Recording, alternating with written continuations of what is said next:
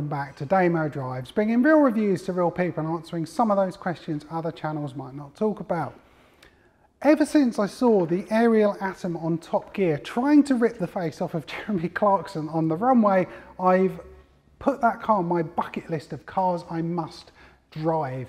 Now I got a call from my friends down here at HPC Classics and said they've got one in and would I like to drive it? Well, of course I would. Look at the thing. It's an unbelievable piece of artwork. Now, interesting as well, about four or five months ago, I got to drive another car that was on my bucket list. That was the TVR Tuscan S. So two cars in the same place that I desperately wanted to drive. And they've actually got something in common. Well, several things. Both are made by small, independent British manufacturers. Both are lightweight. Both have a lot of power. They're both good looking and ultimately they will try and kill you if you do not respect them. So what we're going to do in the video, we're going to have a look around the outside of this atom and appreciate the engineering for what it is and then we'll take it out on the road and see how exciting this car is. I think it's going to be incredible but we'll find out over the course of the video. So let's get started then with this particular car. Now this is the Atom 3 and in fact it's a slightly facelifted model, the 3.5. It hasn't changed much since it was originally conceived back in 1996. It was actually a university project at Coventry and the lecturer who was keeping an eye on that project at the university is now the manager at Ariel, which is quite a cool thing. But the car itself, as I said, this exoskeleton look hasn't really changed. It's simple. It's, it's designed by function and nothing else. The absolute minimum on this car is being added. There's no fanciness at all. And I love it for that reason. The TVR Tuscan is a beautiful looking car with all its curves and creases. This, on the other hand, you would not say it's good looking for that reason. It's just what it is from an engineering perspective. So let's have a look around the car first of all. Let's have a look in the cabin. That will be the first place. So if we look in here, it's very, well, simple to say the least. We've got carbon seats either side. I think these were an optional extra. Proper racing harnesses there. We've got a Momo steering wheel that actually comes off. This display here, this is new, and I think it actually came from the Atom the V8 version. So there's some information on there. We've got just at the top, you'll see here, they are your change lights, indicators, start. We have got, I think this is an option as well. You can adjust your brake bias, and that's about it from here. Oh, we have got a windscreen just in the loosest sense of being a windscreen screen either side. But I love the fact you can see everything. You can see all the cables here. Ah, six speed manual. And if you look under there, you can, you can see all the steering, turning, the suspension, everything. It's, as I said, it's engineering at its best. You know, the brake cables, just everything is exposed. So if we have a look around the back then, this car weighs around 550 kilos, maybe 600. And it's the engine in here that makes all of the difference. It's got the same two litre engine as you'd find in the Civic Type R. And to make it go a bit quicker, because obviously it's not quick enough, they've got a supercharger. So now this model puts out around 310 brake horsepower, 270 newton meters of torque. Put that all together and you're looking, if you can change gear quick enough, 0 to 60, 2.8 seconds. That is, well, that's fast. I mean, ridiculously fast. There's not many cars out there that will actually perform as well as this.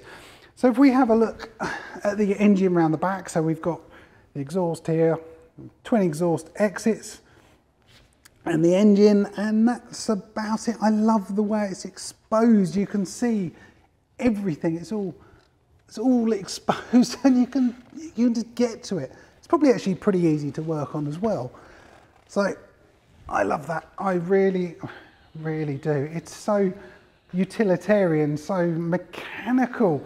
Now this area here, this is where the air intake is. So when the supercharger is whining, which I've seen on videos, it does make a beautiful noise. It's sucked in here, so you can't really hear anything than a whining supercharger and the rush of air and bees as they enter your face and your mouth. Suspension wise as well, um, this is all inboard and it's adjustable as well. So I've got Bilstein suspension. Headlights are new on here as well, been 3.5. I think the previous gen, these lights weren't here. They were sort of more up here, more of a bug-eyed look. And there's a crease down the center, very subtle down this center section here. So that's different.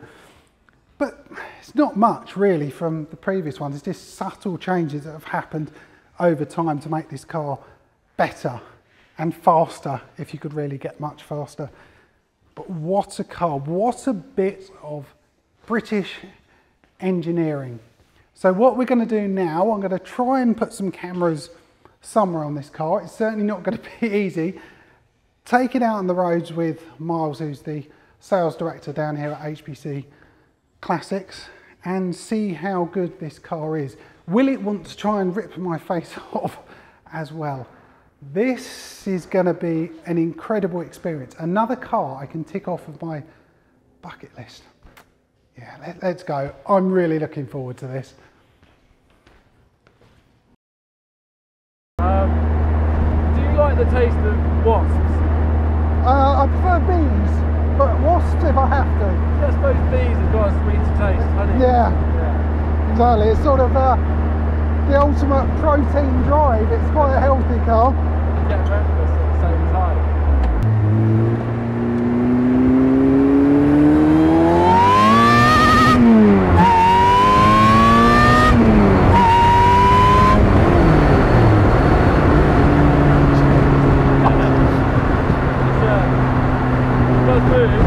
That is ridiculous.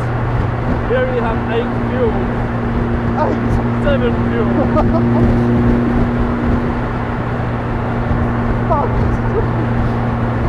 Getting hit by bits of road in the face. Man, Yeah. over the bird.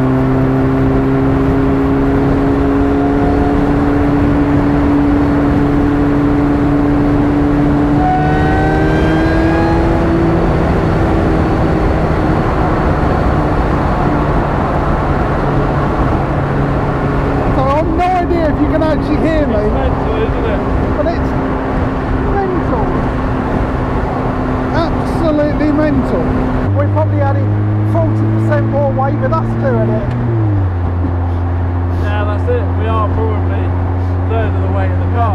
I think the engineers probably hate us. They've, they've stripped everything out and then two slightly over or I'm slightly overweight people get in the massive car. it, yeah. I mean, Oh, like we, have, we now have 12, 12 ultra fuels.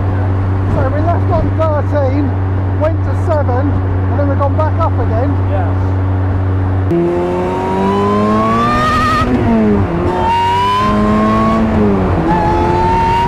Now this is where the atom comes alive. It's so quick. It's so direct.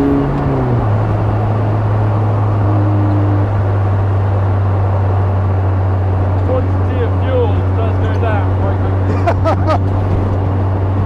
You can feel it right in the seat of your pants, can't you? You've got a, Everything moves. yeah, The amount that you see the suspension rise as well when like, you yeah, you can see it. get some acceleration to it. Really light front end.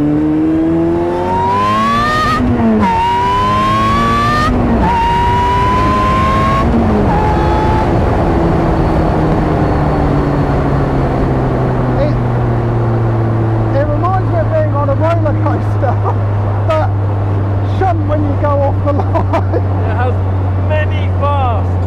yeah. many, many Oh. fast.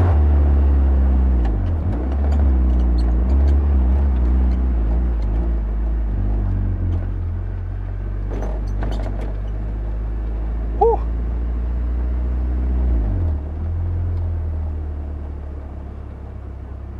Well, that is most definitely a mental thing. Cool, isn't it? It is.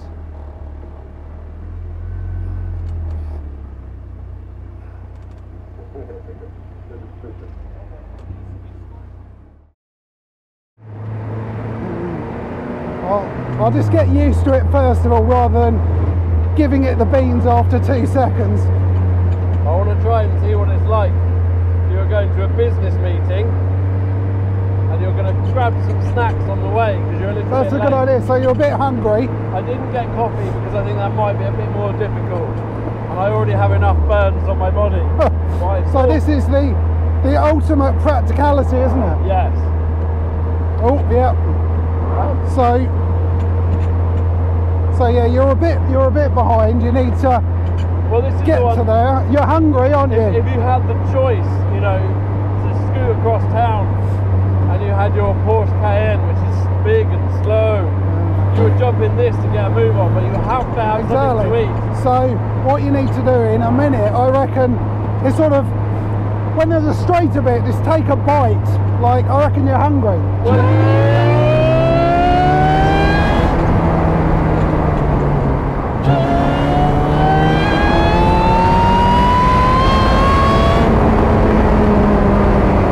Jesus Christ!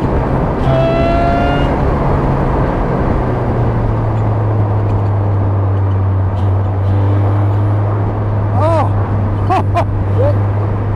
Quite difficult dealing with the G40. I am in love. I did almost choke, which is um, would be limited. That is ridiculous. So we'll we'll slow down. So we're in some traffic, and it's like, oh, you could take another bite now. I reckon. It's Well, I want to now- go for it at full acceleration. So should we wait for the Yeah, let's- here, and then and then we'll see what it's like. I mean, that the brakes are lovely because you just really push on it, and it slows you down. There's no, you can feel where everything is. You know exactly what it's doing. The steering is absolutely stunning. Everything a car should be.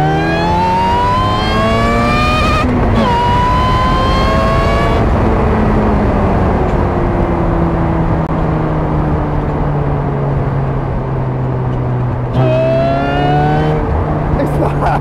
It's doable. It's doable It is doable. I'm a not sure you could drive that fast with a coffee at the same time. and a coffee. Might have to wait until you get to the office for the coffee. But that's okay. It's it doesn't feel as intimidating as I thought. I was like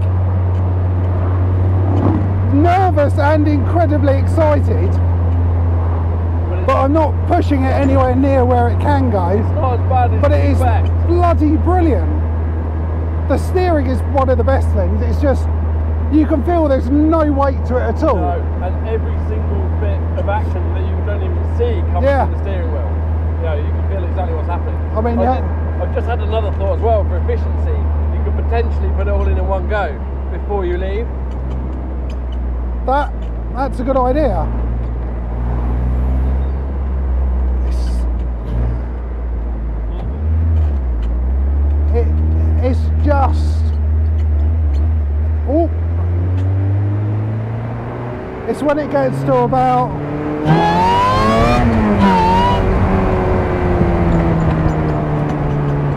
there Madness. It's like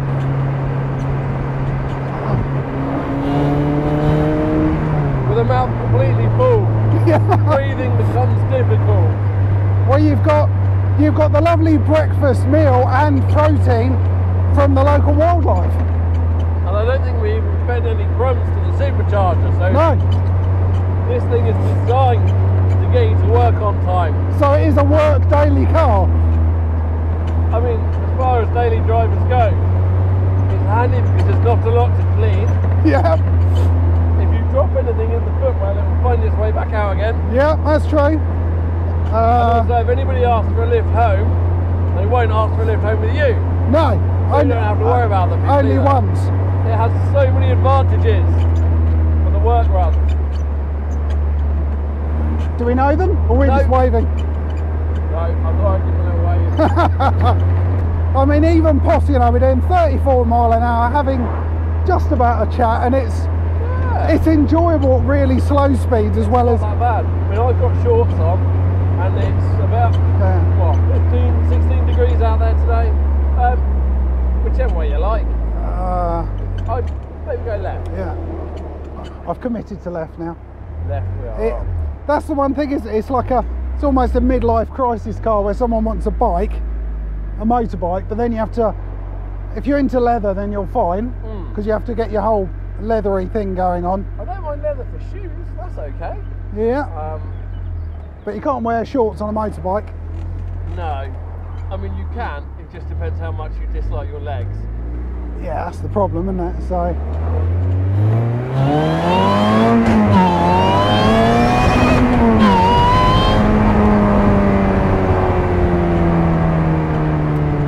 Oh, it's awesome, isn't it? bounced off the rev limiter in second there, but Yeah. It just gets there so quick. it's like, oh, quick. I mean, you're not going to find anything that's much better than this, really. Uh, I mean, the fact they do a V8 version of this scares the bejesus out of me. I like the idea. I mean, you know, I like the V8. Oh, yeah. I like the idea of the V8. I haven't driven one. I would love to. If anyone's got a V8, let's Oh. have a go. Uh, it's mental. I can't. I 400 brake, 500. I can't. It's a, it's a lot of brakes in there, and it's got, it's got a Sa- Sav-F sequential box, and that's like a 12 grand upgrade. Bang, So it's bang. just bang bang. No, not Sa- Sav-F um, paddle. So it's just bang bang bang bang. Wow. That would be amazing. It's sort of the the ultimate atom, but they hardly made any. They were really expensive. Well, I'm not surprised. Trying to put a V8 in almost anything nowadays is relatively expensive, let alone a custom built Megatron of doom. Yeah, it comes with a year's supply of uh, special brown trousers for that one. Yeah. yeah. So the V8 version of this must be the ultimate car for knobbing around in. Oh, yeah. I just. The one thing I am finding here, did you find the throttle is really sent? Oh, it's it's because it's got a potentiometer right at the top. Oh, okay. Any minute movement it picks up. Because the suspension is it's firm. You're not going to get over that. So you go over a bump, your foot's Yeah. Old cars like the old Triumph Spitfires and things like that were very much the same with how the linkage was set up. So people would put a secondary or stronger spring on the linkage Yeah. to stop that. And you used to have to learn, you lean your foot against the side Oh, the okay. or like lock it in the carpet. And therefore your foot doesn't move. Ah, So those old fashioned tricks make a car like this easier to drive. I'm putting my toe over on the right, so it's not. That's it, yeah, and it does, it makes a difference. Um, a lot of people used to think there was something wrong with their car or their carbs needed a rebuild, but actually it wasn't, it's just their foot. You need a strong leg. You're all good here if you want to, if you want to cruise Am I?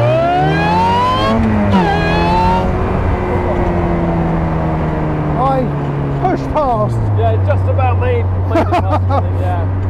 Um, Jesus, I don't know what that cyclist must be. There's this howling banshee going past. he probably has a little trail behind him. I would say. Although if that was me on my bike, I'd be like, yeah, Yeah, go for it. have it, lads. Yeah, it's not too bad. I mean, there is plenty of space. Under the seats, you could store things for a journey. Yeah, that's true. Um, there's a bit of space under the seats, and that keeps the weight low down as well. So they'd obviously thought about, you know, Clever bunch of people. grand touring characteristics. I suppose you'd go for the uh, Nomad, wouldn't you? Which has got more cage and Yeah. it's more car-like, sort of. Although it's off-roader. I can only imagine three, 300 brake and an off-road lightweight. With with the Nomad, you have the the other advantage that if there's a traffic jam, for example, you could just go up the curb and disappear off, Yeah, it'd be fine. and and you know nobody can catch you either. So So that would be so it doesn't matter if you career off into a hedge because you go into the hedge, through the hedge, out the other side. out the other side and keep going. Yeah. You might have to eat some sparrows and oh. things on the way Or you through. you might be lucky and maybe go through a bramble bush and get some fruit. Exfoliation. Yes. Yes.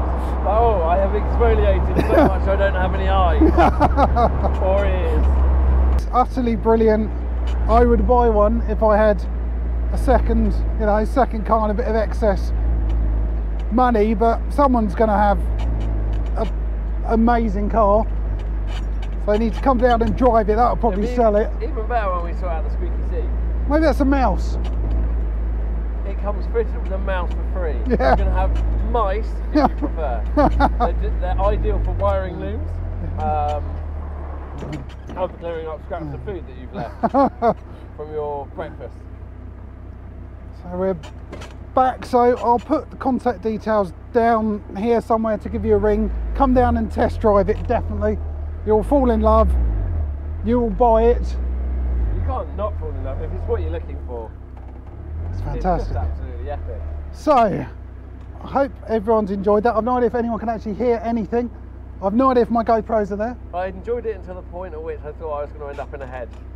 Well, that was meant to be the thumbnail. yeah, it would just be me like that. Yeah, just ah. Guys, I hope you enjoyed it. If you have, give me a thumbs up. You can't give it a thumbs down. What is there not to like about this? Maybe us weighing it down. We could go out, isn't it? anyway, guys, hit the subscribe button and notification bell, and you'll get alerted when more videos like this. I'm not sure quite like this come out. Anyway, guys, thanks for Yeah, I don't know how we're going to trump this one. We'll try. There's a way. All right, cheers, guys.